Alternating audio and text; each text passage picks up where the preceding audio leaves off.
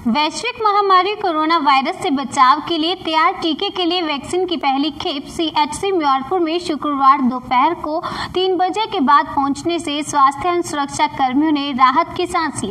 Corona vaccine के रखे जाने के लिए सी एच सी स्थित शीत श्रृंखला कक्ष के सभी उपकरणों की जाँच पड़ताल की जा चुकी है। विद्युत आपूर्ति बाधित होने की दशा में सोलर एवं जनरेटर के द्वारा विद्युत उपलब्धता सुनिश्चित की गई है।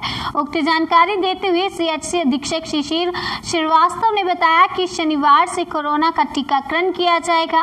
वैक्सीन की सुरक्षा के लिए प्रभारी निरीक्षक अजय कुमार सिंह ने दो जवानों की तैनाती कर दी है।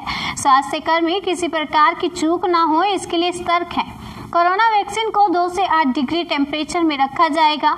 इस दौरान फार्मासिस्ट वीरेंद्र कुमार हरिगेंद्र संतू राम, अमित कुमार सहित सभी स्वास्थ्य कर्मी एवं पुलिसकर्मी मौजूद रहे। जनसेतु के लिए सोनभद्र से पंकज सिंह की रिपोर्ट। आज सर कोरोना वैक्सीन सीएससी में आने वाली है। उसका रख रखाव का क्या सीएससी के द्वारा व्यवस्था किया गया है? हमारे जो यहाँ के कप्तान साहब है उन्होंने दो लोगों को पीछे आपके खड़ा कर रखा है।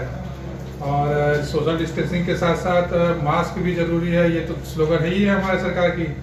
और यहाँ पे जो है पूरा मार्किंग की गई है किस तरफ़ से किस तरह मरीज़ को जाना है, कहाँ पे किसको, कौन सा वैक्सीन लगना है, और उनको फिर निगरानी में रखना है, वो सब वहाँ पे कक्ष बने हुए हैं, हमारे दूसरे बिल्डिंग में।